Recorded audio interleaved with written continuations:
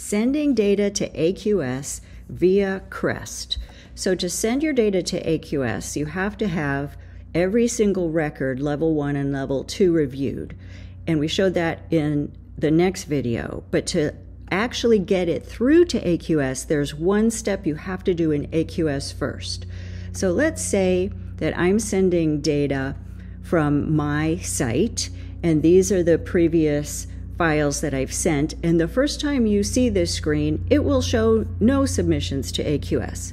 I click all the way down at the bottom left, Add, and that is a selection pane that lets me choose what data I want to send to AQS. So if you're monitoring for multiple parameters, you can check which one. It's very common for people just to send their pollutant data, for example, to AQS. And then what is important is over here on the right. So this has to match exactly what is in AQS. So my AQS username is ROE. The screening group name is ITEP training, and the CDX user, for some reason, has to all be in caps. So this is what you have to set up in AQS to get your data from QREST into AQS. So this is appropriate for me, I think. What if I'm a new person? I got my AQS user ID, but I don't know the name of the screening group. And again, it has to be exactly as it is here. So let's go into AQS. So to go into AQS, I always just Google from the beginning EPA AQS data, and that takes me to this familiar page where you see this blue ball over at the right you click the blue ball and it automatically downloads a JavaScript to your computer. You have to have this JavaScript on your computer in order to run AQS, and you have to get into AQS at least once a year. So let's go into the downloads. And you can see I've done this a few times, but I do it every time in case they change the Java, JavaScript. And it may be that you have to open as administrator. So it is going to be open with a program called Java Launcher. And it may be that you have to do this on your home computer because this is not consistent with modern day security requirements. But we have to do this. Click Java Launcher, and it says, Really? You don't want to open this? And I say, Yes, I really want to open this. And then it starts this uh, never say update. I never want to uh, update Java. What you want to do at this point is I never check this box. Instead, I run this twice. Run, and then it says again, run. And now it takes you into AQS. So this is a screen that the Java launcher opens up on your computer. The database for actual production data is going to be AQS production. And so you'll always have that there and then click connect. And now it says, oh, it opens up a browser window, or you may have to do that, and you say, okay, you got to log in using login.gov.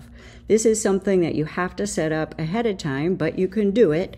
And you say, we already have an account. I agree without reading the agreement. Success, you have been successfully authenticated. Now, this may actually take you to two factor authentication. Uh, login.gov might have to send you a text.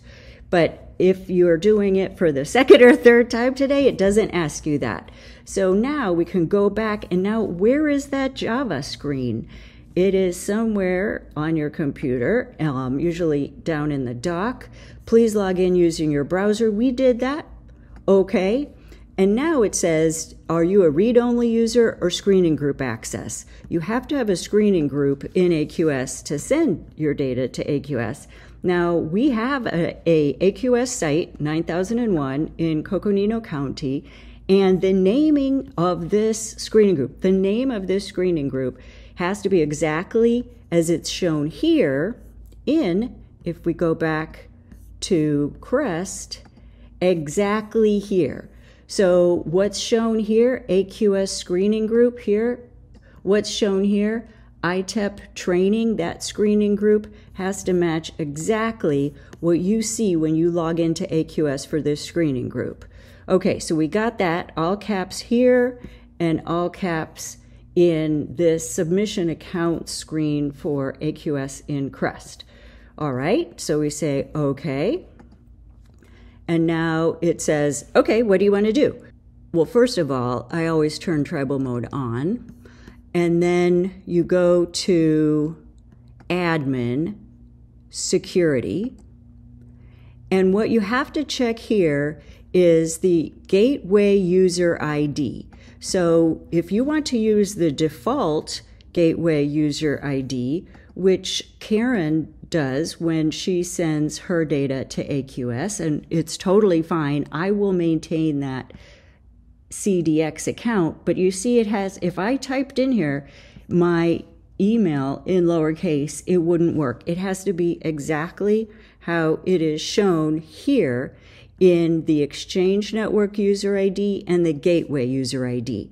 Now, let me show you if you had your own Gateway user ID, you could put that in there. For example, you could type in your own Gateway user ID. If you've been loading water data to EPA via CDX, this will be the same Gateway user ID, at least right now, October 23rd, 2024. Uh, AQS will be changing at some point in the past, but it hasn't changed in the 25 years I've been accessing it. The good thing is that you don't have to change this. If you want to use the default one for your data in QREST, that's totally fine. If you wanted to use your own CDX account, you could click here, Change and here you have to make sure the AQS user ID is exactly your AQS user ID. They're longer now. Mine is so old, it's just three digits. The AQS screening group name. Now, if you want to leave the default global CDX account, that's fine, but you just need to make sure that you log in at least once to AQS. You go to admin, security, it opens up this panel, and this right here, these two values, need to match exactly what then, if you don't want to use the global, then you could put this in. So whatever your CDX user ID and your CDX password is, you would type that in there. I don't see any reason for doing that, and I would use mine, but if you've got one and you're always using it, then just uncheck this box and type your CDX user ID and your CDX password in there. Once you do that, save the changes and then test, and QREST will confirm that your CDX user and your CDX password work. So I'm going to recheck this here. So when I go to load data to AQS, in this case, generous Karen Shaw from Fort McDowell Yavapai Nation has allowed me to use her information for how she sends data to AQS. So she's old like me, and we have three digit AQS user IDs. You're may, maybe longer. Her screening group name when she logs in is exactly this not in all caps, Fort McDowell Yavapai Nation, comma, AZ in caps. So that has to match exactly what she sees when she logs into AQS.